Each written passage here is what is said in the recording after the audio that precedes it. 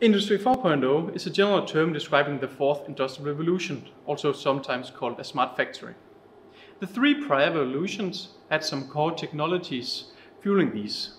This was steam power with the first, electricity with the second, and computers in the third.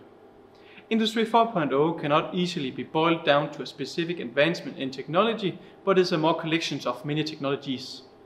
This collection includes technologies such as augmented reality, autonomous robots, industrial Internet of Things, and additive manufacturing, simulations, big data, and analytics. These advancements in both the physical and software world merged together is also called a cyber-physical system. This is a result of the global market increased competition and also the consumer demand for newer and more customizable products.